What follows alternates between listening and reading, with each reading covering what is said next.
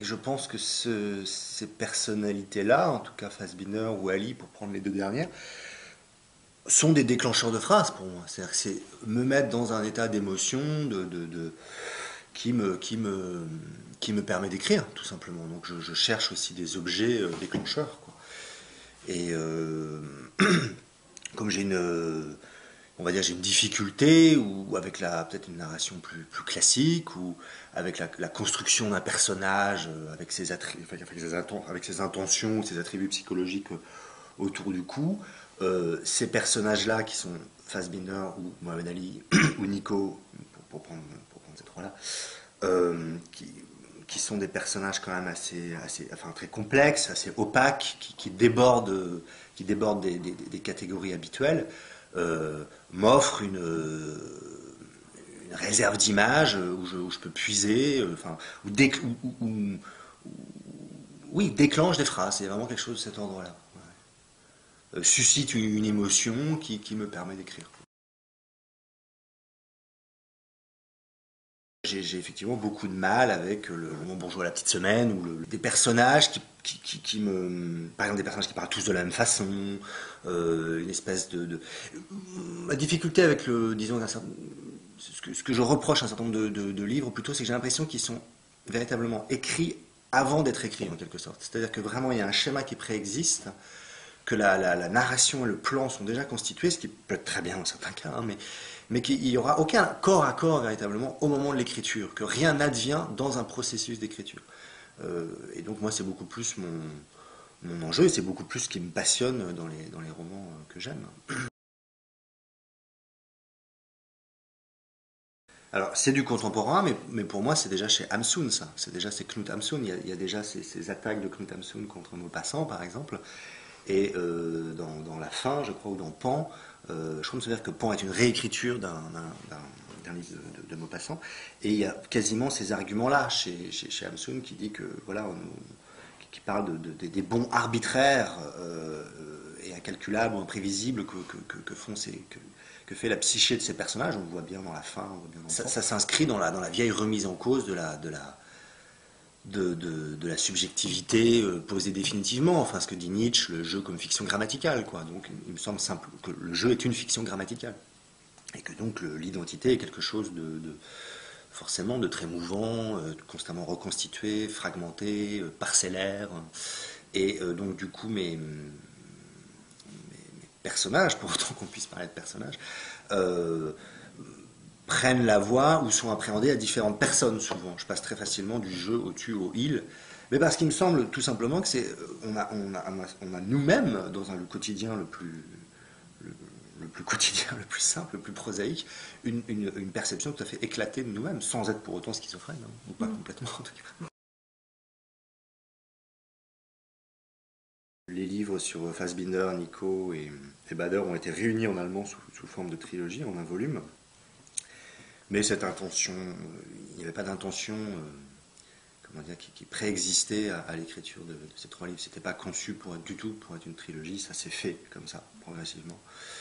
Euh, sachant que le ferment était beaucoup plus Fassbinder en fait que, que, Bader, puisque Fassbinder d'emblée posait à la fois une, enfin, euh, posait vraiment le, corps comme un, comme un,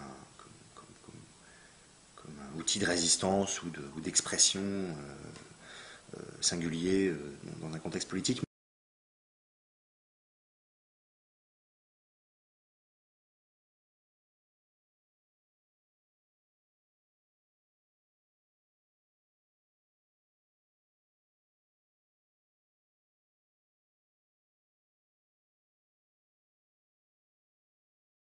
La chronologie au début de, de Des Foules, des Bouches des Armes, je ne sais pas si je le referai tel quel maintenant. ou, je la, ou je la vrillerai un petit peu. J'introduirais du, du, de l'anecdotique ou j'introduirais de l'insignifiant parce que c'est très c'est très problématique qu'est-ce qu'on est-ce qu'on retient ou pas et surtout c'est très problématique parce qu'il m'importe toujours de souligner que moi je fais pas un essai que je fais pas un, roman historique et c'est vrai que c'est parfois la, difficulté de dans la perception de ces, bouquins, euh, c'est qu'ils sont, euh, mais en général, je crois, dans la perception des, livres, dans le champ culturel tel qu'il est aujourd'hui, c'est qu'on les ramène à du sociétal, on les ramène à leur sujet. Et, moi, c'est pas du tout mon, enjeu. Si quelqu'un veut s'intéresse à la, question du mouvement des droits civiques aux États-Unis, bah, qu'il lise Howard Sims, par exemple, ou qu'il lise des, livres d'historiens qui seront bien plus pertinents et, approfondis que, que, mon livre. Euh, moi, l'enjeu, encore une fois, c'est vraiment des, des, des, questions d'écriture, c'est des questions de prosodie, euh, et il se trouve que, euh, pour des raisons euh, qui, m'échappent hein, aussi, je pense, en partie, hein, une grosse part de ma sensibilité est là, est posée là, est posée dans cet univers allemand des années 60-70, c'est cette Allemagne de la reconstruction.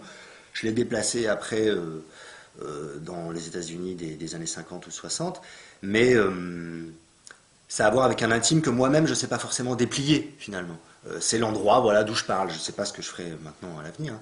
Mais Elroy euh, dit exactement la même chose. C'est assez fascinant, je trouve, quand il, quand il parle de, du Los Angeles des années 40. Il dit que c'est voilà, là qu'il est et que s'il si, veut revivre, alors moi je ne vais pas aussi loin que lui, hein, je n'ai pas ce fétichisme-là à une ville, mais je trouvais ça intéressant. Voilà, c'est son univers mental. Moi, il se trouve que. Et puis, ça, pour le moment, parce que ça va, ça va certainement. Euh, changé, puisque j'ai l'impression d'avoir épuisé quand même cette, cette, période, pour moi en tout cas, mais que voilà, il y avait un univers mental qui était fixé là. Oui, il y, a une, reprise de, reprise de certains motifs, il y a un jeu de, reprise et de déplacement. Euh, euh, mais c'est pas quelque chose de. C'est vraiment pas quelque chose de calculé, ça par contre. Mmh. Euh, mais il y a aussi, bon, c'est certain que comme ces quatre livres, bon, il forme clairement unité, euh, c'est certain que les, prochains, s'il y en a, en tout cas le prochain, euh, sera entièrement différent. C'est certain que je vais sortir dans ce cadre-là, parce que là, j'ai quand même véritablement, depuis, euh, depuis presque dix ans, vraiment repris, travaillé vraiment sur un certain nombre de, motifs assez, assez. Enfin, repris un certain nombre de, motifs identiques, oui.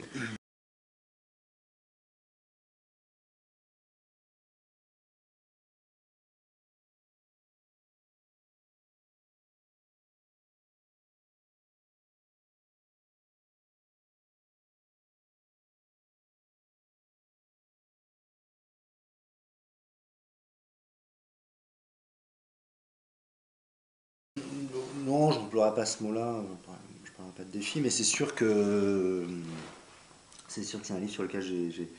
Certainement le livre sur lequel j'ai le plus longtemps travaillé, puisque j'en ai tiré aussi une pièce radio euh, qui s'appelle Ali après, qui est différente du livre, qui, traite une autre période, euh, et différemment.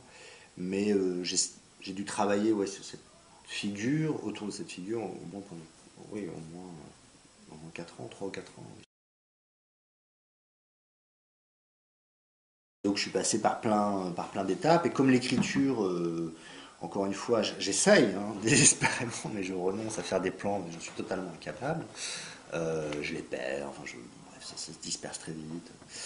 Euh, du coup, c'était pas évident, parce que, effectivement, le premier problème, c'est qu'il est vivant. Donc, ça paraît absurde, hein, mais effectivement, la mort clôt. C'est le seul personnage que j'ai traité qui était encore vivant. Et du coup, on, voit bien que le, dernier moment, une fois, qu'une personne est morte, voilà, toutes les lignes et les cohérences se construisent. Mais on voit donc du coup vraiment à quel point cette construction des cohérences dans une vie est quelque chose de mortifère. Euh, et je crois que c'était par exemple typiquement une difficulté pour moi. Qu'est-ce que je faisais de son état actuel? Est-ce que je, mettais en scène mort? Après tout, on peut tout se permettre. Hein. Plus que pour les autres, euh, il y avait effectivement une énorme masse de de documents. Déjà, moi, mon anglais n'est pas très bon. J'ai pas un très bon anglais. Tandis que Fassbinder, je, me suis beaucoup approché de Fassbinder et j'ai beaucoup. Euh, et j'admire beaucoup Fassbinder pour ses interviews parce qu'il est, il est, extraordinaire Fassbinder. il déploie des choses qui sont très belles. Euh, donc j'y entrais par la langue. Nico, bien sûr, Bader aussi. Alice, il y avait beaucoup, c'est vrai qu'il y avait beaucoup, beaucoup de difficultés supplémentaires. Une période que je connais moins. Euh, mais aussi, euh, alors c'est pas, des, pas des choses qui étaient très conscientes, ça, hein, évidemment, au moment de l'écriture. Euh, mais aussi, ce qui, ce, qui, était différent et intéressant, et, des choses qui n'étaient peut-être pas chez les précédents, c'est que c'est une vraie icône. Enfin, ce caractère iconique est très évident. Donc c'est intéressant, ce nom qui, qui immédiatement permet des associations. alors qu'ils sont pas les, justement, enfin de jouer avec ça parce que c'est jamais les mêmes, parce que c'est beaucoup, c'est beaucoup de la réduction forcément par définition, c'est beaucoup du, cliché, mais ça permet de jouer avec tout ça un peu plus. Quoi.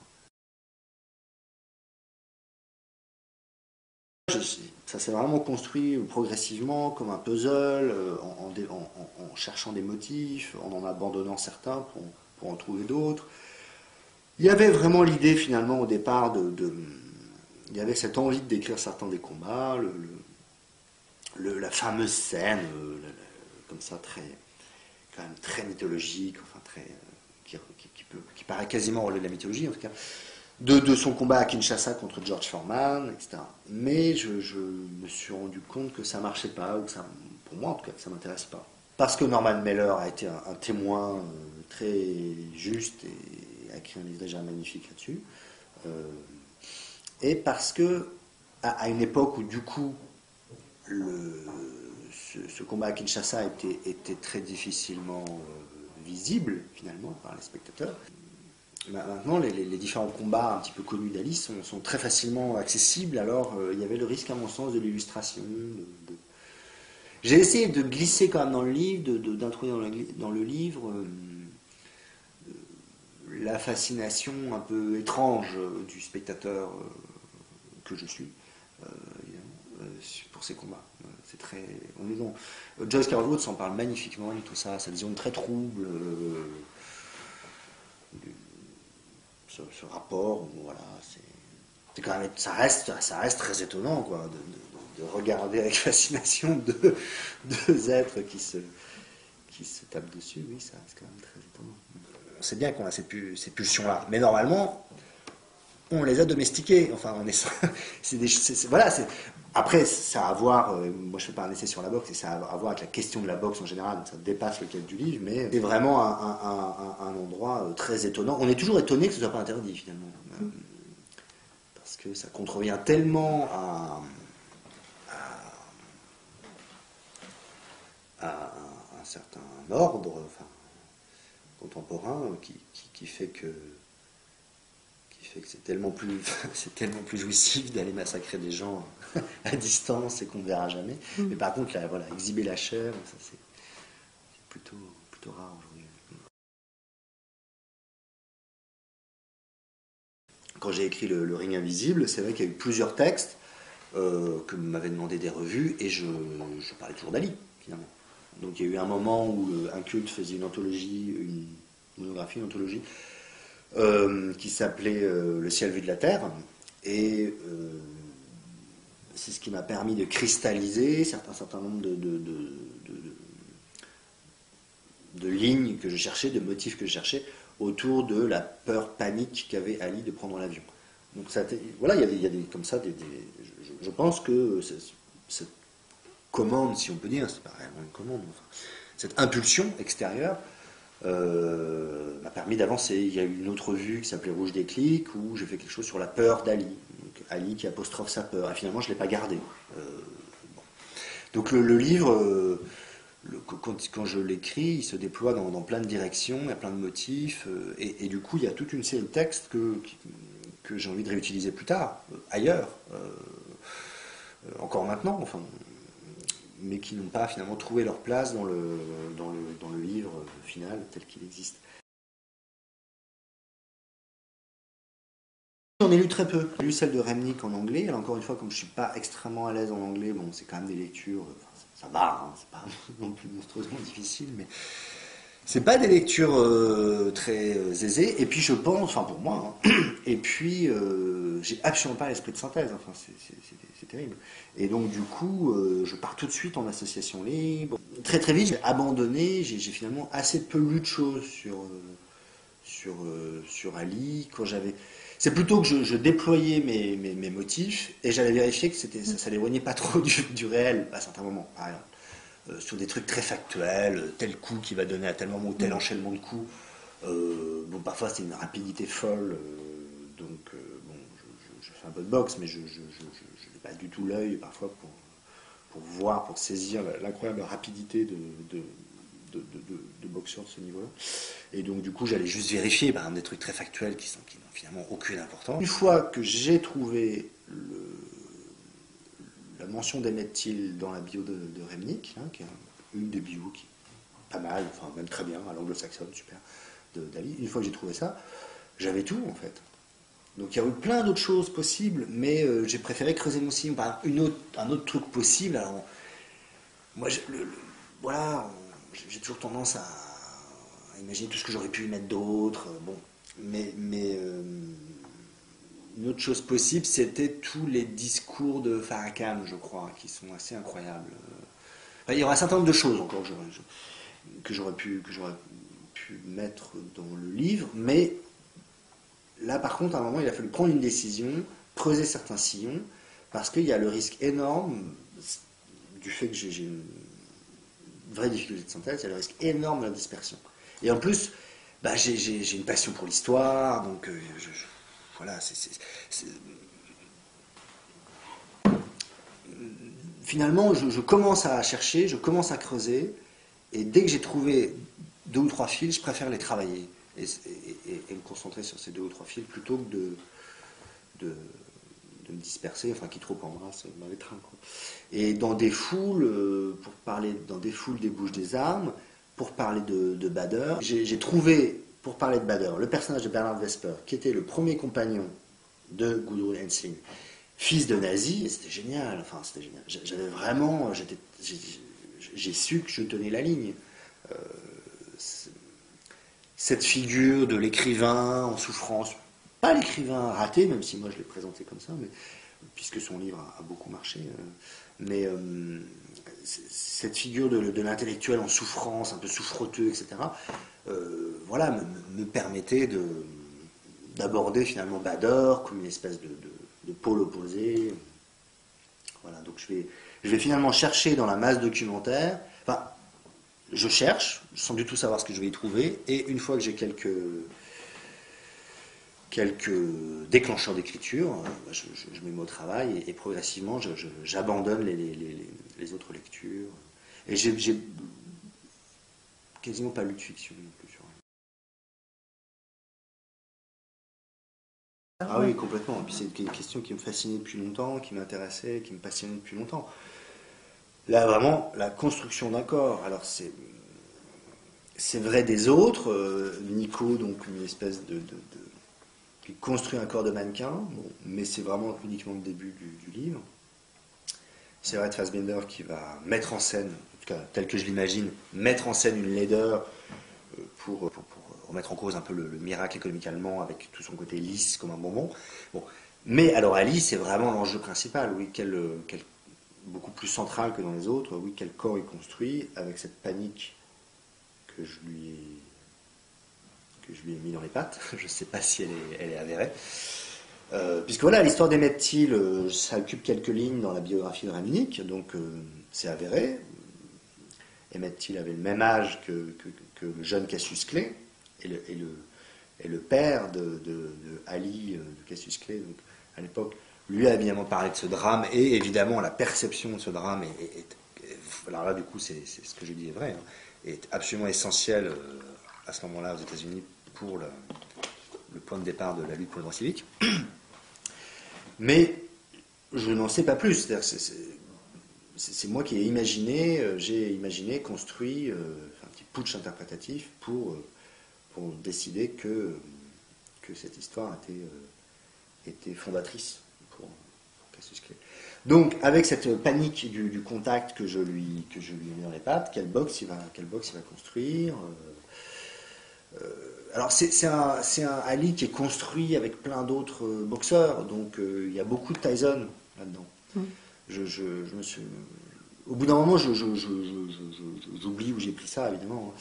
Mais il me semble, hein, je ne crois pas me tromper, qu'il y a un film absolument magnifique euh, sur Tyson qui s'appelle Tyson, qui est une longue interview, une très longue interview de Tyson, qui est, très très belle, c'est vraiment très étonnant. Et euh, je, je crois que Tyson euh, vraiment parle.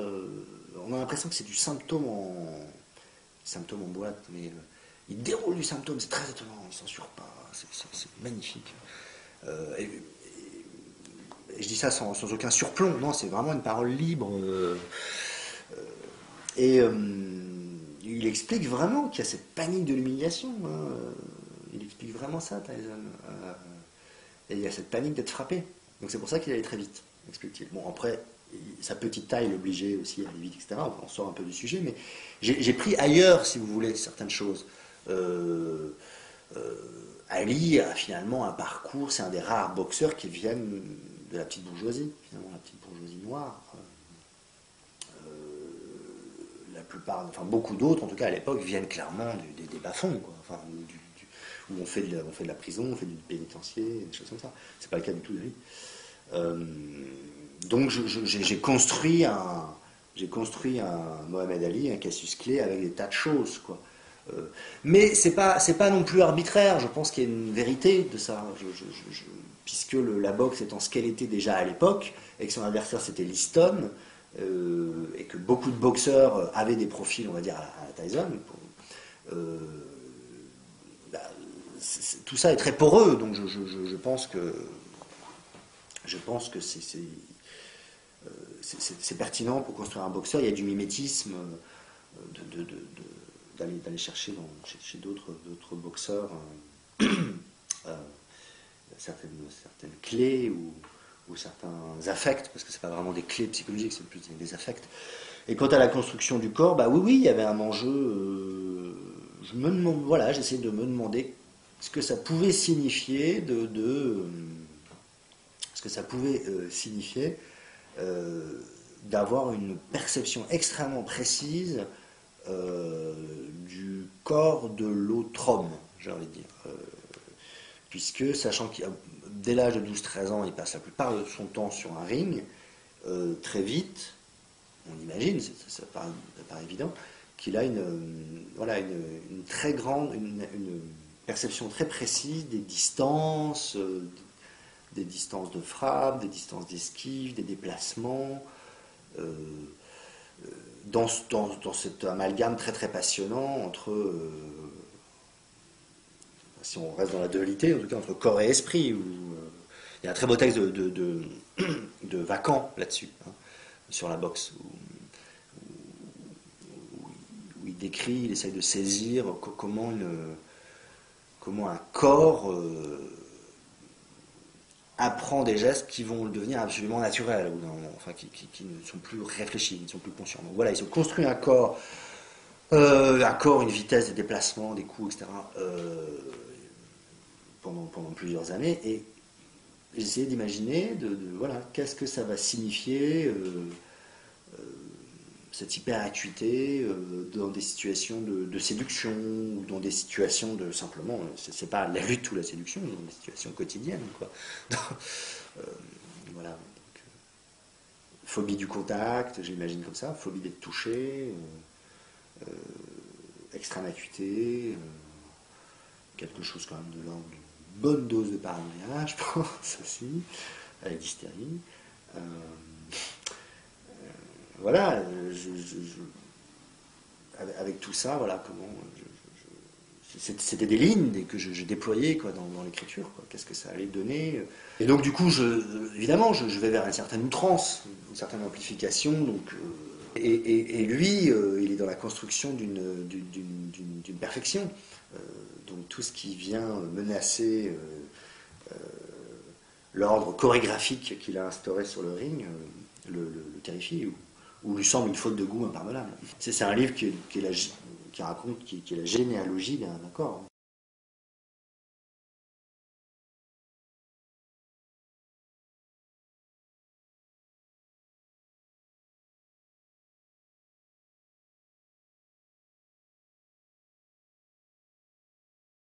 Oui, c'est des, des, figures que j'essaye de, saisir à, différents euh, moments. Euh, avec la somme de leurs contradictions, de leur, euh, de leur ligne de devenir euh, contradictoire. Euh, moi, je suis très passionné par le cinéma de, Piala, qui, est un cinéma tout sauf réaliste, ou le cinéma de Cassavetes, mais restons sur Piala, où on voit vraiment des personnages à l'intérieur d'une seule séquence traverser des, des, états a priori contradictoires entre eux, mais la puissance cinématographique de, Piala nous le fait, euh, nous le rend vraisemblable. Enfin, peut laisser croire au premier abord presque que c'est que c'est que c'est euh, naturel, savoir que ce n'est absolument pas.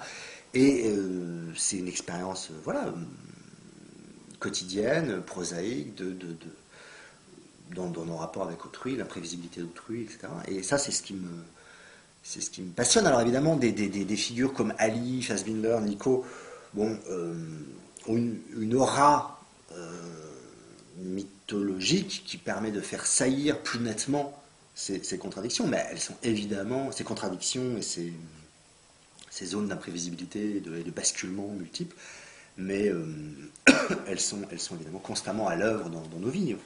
Pour moi, c'est un moteur. Enfin, c'est-à-dire, je prends ces objets-là, et puis je pense peut-être tout simplement, j'ai un, tempérament un peu, un bilieux comme ça, donc je, je, prends ces, je prends ces objets-là et j'en fais des objets de colère.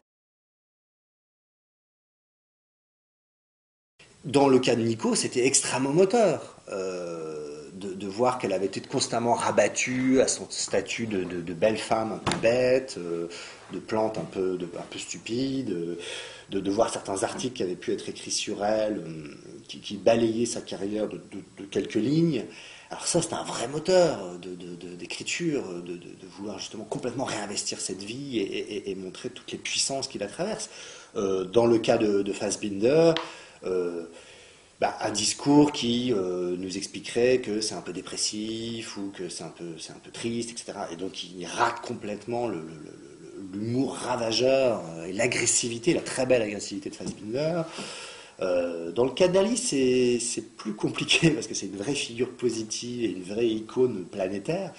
Mais bah, par exemple, des choses qui m'amusaient, c'était, de, c'était cette histoire du vélo. Enfin, c'est vraiment cette puissance d'adhésion comme ça spontanée à des, à, des mythes un peu, un peu, un peu bidons, quoi. Ça, ça, m'amusait beaucoup et, du coup j'ai trouvé une, un déclencheur d'écriture à nouveau. ça m'amusait beaucoup qu'on, pour expliquer euh, la boxe, parce que voilà, c'est toujours, c'est toujours des questions de causalité. Comment on explique euh, la, boxe d'Ali? Très souvent, on lit ça parce que petit garçon, on lui a volé, euh, on lui a volé son vélo rouge. Moi, j'adore ça. c'est génial. Donc, il y a vraiment de quoi s'amuser avec ça. Euh,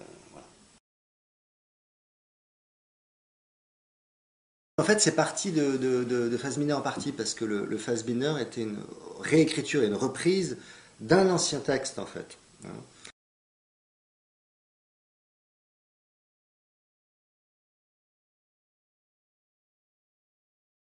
Point de départ, il y avait vraiment Fassbinder et Ali qui m'étaient donnés ensemble, euh, enfin que j'avais construit ou saisi euh, ensemble. Euh, Ali étant comme la face lumineuse, l'espèce d'opposition fascinante pour, pour, Fassbinder. Et il me semblait que les deux les deux faisaient vriller un peu l'ordre établi, enfin, par, une parole. Euh, euh, alors, Fassbinder en,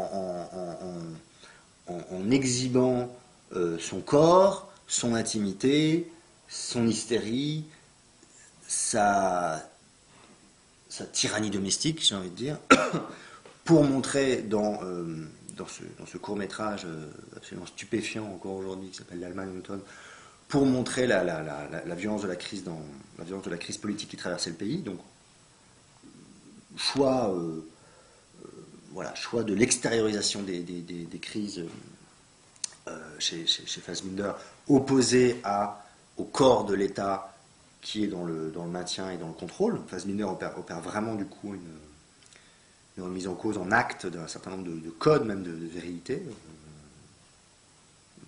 de pratique du masculin, à mon sens, à ce moment-là. Et euh, de l'autre côté de l'océan, sans jamais que Ali ait entendu parler de, Fassbinder, Fassbinder admire certainement Ali, mais l'inverse est faux. Euh, Ali, je le trouve très fascinant pour sa hum, parole histrionique et en vrille, en association libre, en, exagération, en amplification. Euh, une parole qui ne prétend absolument pas dire le vrai et qui donc du coup sort de l'idéologie. Donc ces, paroles qui sortent comme ça, qui, sortent des clous, euh, qui deviennent difficilement euh, situables, euh, bah ça, ça, ça, me passionne. Je crois que c'est un vrai enjeu littéraire de toute façon. Et donc, du coup, oui, voilà, Ali et, Fassbinder m'étaient donnés ensemble, d'une certaine façon, parce que pour moi, les deux opéraient comme ça des, des, remises en cause, en actes, euh, très, très passionnantes d'un ordre du monde. Et c'est alors l'objet d'une performance que je fais, justement, avec un, avec un ami qui est comédien, metteur en scène, et qui s'appelle Julien Lacroix. Et c'est une, une, performance où, on, d'une certaine façon, on part de Fassbinder pour aller à Ali aller pour aller vers Mohamed Ali. Mais on trace comme ça toute une série de passerelles. Alors il se passe plein de choses en performance, mais un des points de départ, c'est toutes les passerelles, euh, tous les, toutes les associations possibles entre euh, ces deux figures, Ali et Fassbinder, qu'a priori tout, oppose ou, rien ne pourrait rapprocher. Mais je trouve que souterrainement, euh, il y, a beaucoup de choses qui les, lient. Il y a cette phrase que j'aime beaucoup de, Michaud, euh, comme ça, si je m'en souviens bien, qui dit Je crache sur ma vie, je m'en désolidarise, qui ne fait mieux que sa vie?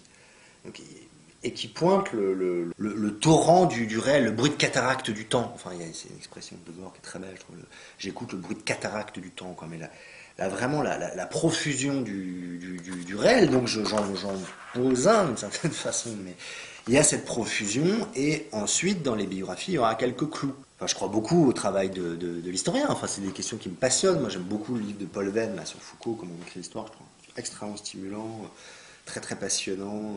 Ou la façon dont Venn définit le travail de l'historien, qui, consiste à, ce qui paraît une évidence, mais c'est pas rien, à, repérer tout ce qui est le quotidien finalement non vu, non perçu des agents.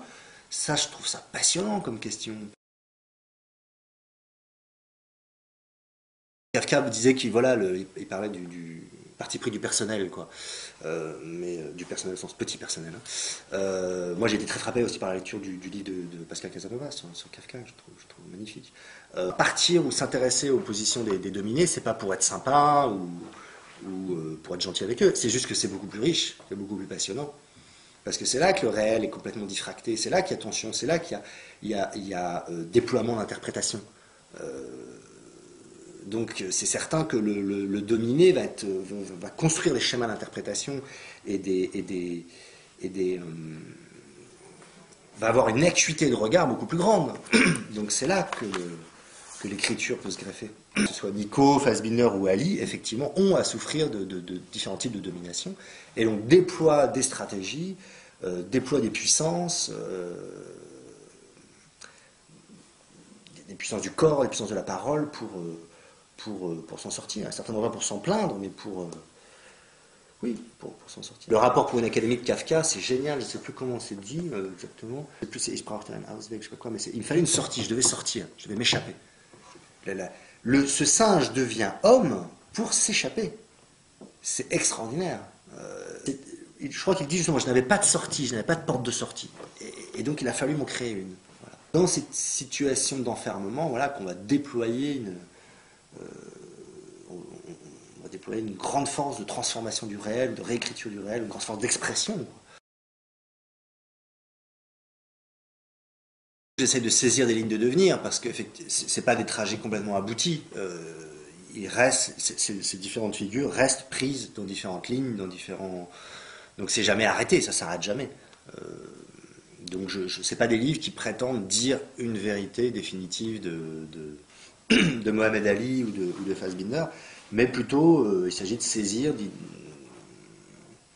de, déployer, enfin comme déployer comme déployer l'intérieur d'une monade, enfin déployer le, euh, un certain nombre de, fractures, de lignes de devenir, de, de phobies, de, désirs, de puissance, à, différents moments. Ça reste toujours euh, entremêlé et incertain et, ça ne s'arrête pas, enfin, comme mm. dans la vie. Dans les derniers livres, c'est certain que euh, il, est, beaucoup question de, crise. La, performance que, je fais avec, euh, Julien Lacroix, c'est, euh, on appelle ça la phase minérologie, une science des crises, je crois, une science dure des crises. Et, on imagine qu'avec Fassbinder, on, on, peut expliquer un certain nombre de phénomènes historiques grâce à l'art de la crise l'art de réagir à la crise chez, chez, Peut-être que j'arriverai un jour à, décrire euh, comment dire des choses beaucoup plus beaucoup plus euh, apaisées mais c'est un autre c'est une autre écriture que, que, pas la mienne pour le moment mais ça peut être tout à fait évidemment passionnant. Mais il se trouve que je m'ont passionné jusqu'ici des, situations de crise où, où les personnages vont, euh, c'est vrai, assez souvent finalement, redoubler la crise. Et c'est ce fameux exemple, moi j'aime beaucoup, euh, enfin c'est une scène absolument canonique hein, de Voyage au bout de l'enfer, The Deer Hunter, où euh, De Niro, fait prisonnier par des Viet Cong, va. Et, enfin, ses, gardiens lui, demandent de jouer à la roulette russe et donc va introduire plusieurs balles dans le barillet pour, pour du coup s'en sortir en les, en les tuant. Mais c'est quand même très passionnant métaphoriquement. Il y a l'idée de. On redouble la crise. Quoi il y, a une, crise, il y a une situation d'enfermement, et donc c'est en doublant la mise qu'on va, qu'on va, va s'en sortir. C'est souvent ce que font mes personnages.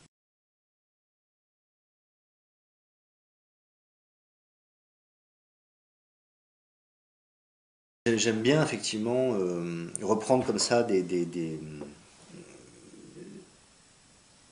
des, oui, des paroles collectives, les diffracter. Euh.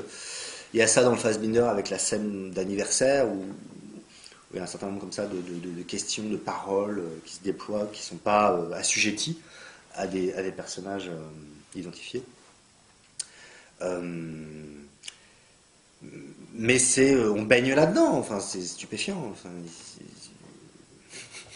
on baigne dans, dans, dans l'idéologie. Enfin, il suffit d'allumer la radio, je parle même pas de la télé, ou d'ouvrir le journal. c'est assez stupéfiant, là, le martèlement de la langue sur nos esprits.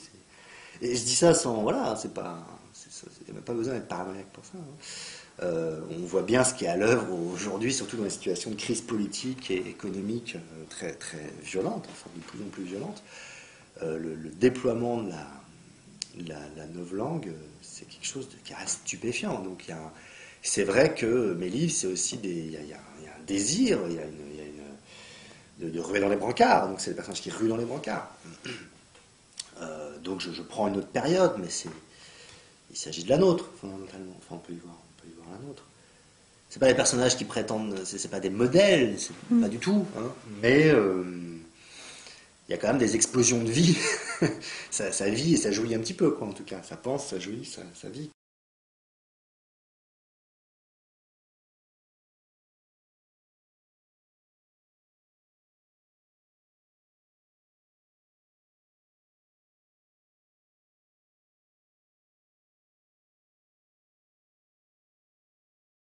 Le sujet croise une, complètement un, enjeu, un, enjeu, un enjeu formel et puis un, enjeu de l'écriture elle-même. Donc c'est d'ailleurs enfin, pour ça que ces figures-là sont, sont, passionnantes, mais c'est aussi ce que je, choisis, je choisis d'y mettre hein, dans le cas d'Ali, parce que je ne pense pas qu'il ait réellement eu ce genre de problème.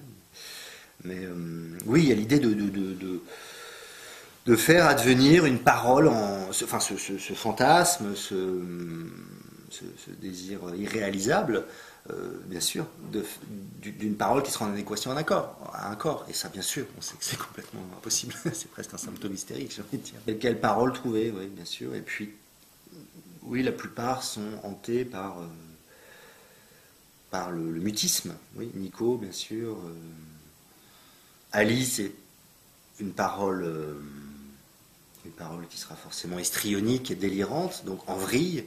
Donc c'est un moyen pour lui de sortir en fait finalement de, l'idéologie. Hein. Euh, Fassbinder, l'enjeu de la parole est moins mm. présent. Il s'agit de disparaître euh, derrière la, derrière la, derrière la caméra. Mais il y a toujours cette, aussi cette question de. Dans, le chaos du monde, dans le désordre du monde, d'essayer de, de, construire un îlot de, de, perfection. Là aussi, fantasme irréalisable. Mais donc que ce soit la, boxe merveilleuse, ce qui serait une boxe merveilleuse chez Mohamed Ali, dans le cas de Fassbinder, euh, fantasme, je crois qu'il n'avait absolument pas d'ailleurs, hein, c'est moi qui lui, prête, hein, euh, devenir, un, œil, euh, devenir entièrement, devenir en fait entièrement l'instrument de saisie du réel. c'est quelque chose qui m'avait beaucoup frappé chez Thomas Bernhardt, par exemple, dans Le Naufragé, où il explique que Glenn Gould voulait vraiment devenir en fait entièrement, entièrement back, quoi, que le, il s'agissait que son corps même disparaisse dans, dans le piano, dans la partition. Quoi. Donc euh, oui, voilà quelques-unes des, lignes ou des tensions qui parcourent euh, les personnages sans que ce soit réellement résolu entre la tentation du mutisme, le, fantasme d'une parole qui, dirait l'exultation du, corps, euh, le, fantasme ou le désir d'une perfection formelle qui, mettrait le monde à distance. Voilà quelques-unes des lignes qui, les traversent. Bah, c'est sûr qu'il y a une reprise des, motifs, il y a une façon, un désir de, reprendre, enfin un désir, ça se fait comme ça, hein, de, creuser et de, reprendre des, motifs. Il y a aussi une espèce de, fétichisme aussi à certaines phrases, déclencheurs, euh, déclencheuses. Euh, Breton parle comme ça dans, L'amour fou de, de, je sais plus exactement quel terme il emploie, mais de, phrases comme ça qui ils disent sont des phrases qui me. C'est comme si j'étais perdu, je m'étais perdu et que ces phrases me donnaient de mes nouvelles. Et euh, c'est vrai qu'il y a un certain nombre comme ça de, de, phrases. Ça peut être méprises dans toute la bibliothèque. Ça peut être euh, chez Baudelaire, chez Jouve, ça peut être chez Beckett, ça peut être chez Delillo, etc., etc. Peu importe, on ne va pas tous les citer, ça n'a pas de sens. Mais un certain nombre de phrases comme ça, un peu, un peu fétiches, qui sont. oui, y a qui sont des, phrases que je, vais, que je vais parfois reprendre. Je pense qu'il y en a certaines qui doivent circuler dans les trois, dans les trois, dans les quatre, quatre livres. C'est vraiment la sortie de route, moi, qui, me fascine. Hein. Le, pouvoir, euh, c'est ce qui prévoit, c'est ce qui clôt, hein. c'est ce qui rabat sur de l'identité, évidemment. Et le, des, figures comme, euh, comme Fassbinder ou, Ali euh, sortent constamment d'Evrier. Moi, je suis fasciné, enfin fasciné, je suis très passionné euh, par Nico, bah, j'aime beaucoup qu'elle s'invente des pères, je trouve ça génial. Euh, c'est toujours ce refus du, cloisonnement, de l'arraisonnement biographique. Il y a aussi un refus de, l'injonction de vérité de la parole, presque. Mmh. Enfin, alors, c'est pas le c'est pas le mensonge à tout prix, c'est pas ça, mais c'est peut-être que la parole vraie n'est possible que dans très rares circonstances. Moi j'aime bien ce proverbe gitan que cite Debord dans la langue de l'ennemi, on est tenu de mentir. Euh, alors évidemment ça peut donner des choses très paranoïaques et très très inquiétantes. D'ailleurs c'est c'est pas un hasard si ça se retrouve chez Debord, mais, euh, il y, a quand même, quelque chose de cet ordre-là. Enfin, il y a, cette joie de la parole ornementative aussi, purement, euh, ornementative ou, purement en vrille. Donc ça, c'est du, c'est du stand-up, c'est Nico, c'est c'est très clairement Mohamed Ali. Euh, voilà. Pour moi, ça, recrée de, l'indécision, de l'indécidable, du, mouvement, et c'est ce qui m'intéresse. Me passionne ou m'intéresse dans, la vie et dans mes livres et, dans les œuvres que, j'aime.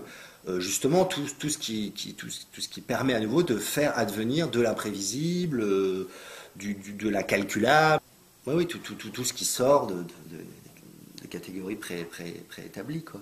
Le, discours d'Ali tel que je le, réinvente, euh, ou l'invente en partie, le discours de Nico, le discours de Fassbinder, ne permettent jamais ne permettent aucune greffe finalement d'un discours politique, ne sont pas jamais normatifs. Euh, puisque ce sont des moments provisoires. Euh, ce sont des, on ne peut même pas parler de vérité provisoire, ce sont des, moments d'éclosion provisoire, euh, mais sont inutilisables pour un syndicat ou pour un parti politique, évidemment. Moi, j'aimerais bien faire un livre uniquement d'exergue, uniquement d'incipit, quoi, avancerait. On dit que le bavard, c'est le cas du bavard, je ne sais pas, de Desforêts. Oui, oui, moi je suis très frappé par un livre, par exemple, comme euh, euh, Tentative de sauvetage non-sens dans les hauteurs là, de, Bernhardt. On a vraiment l'impression qu'il a une, jubilation à jeter les phrases. Quoi. Et, c'est vrai que moi, dans l'écriture de, mes livres, souvent, euh, j'harmonise un peu après, ou je, reviens du bloc de prose, mais le premier geste, c'est d'écrire, en vers libre. Il y, a une, jubilation de passer à la ligne complètement. Euh, donc c'est voilà, il faut, il faut se garder de ces trucs-là aussi. C'est bien que ce soit contenu à certains moments, parce que. Euh, mais j'aime beaucoup l'unité du verre, moi. J'aime beaucoup ça, l'univers libre. J'aime énormément Claudel pour ça. trouve que ça permet vraiment des choses de l'ordre de jeter des sons, poser un monde. J'aime beaucoup ça.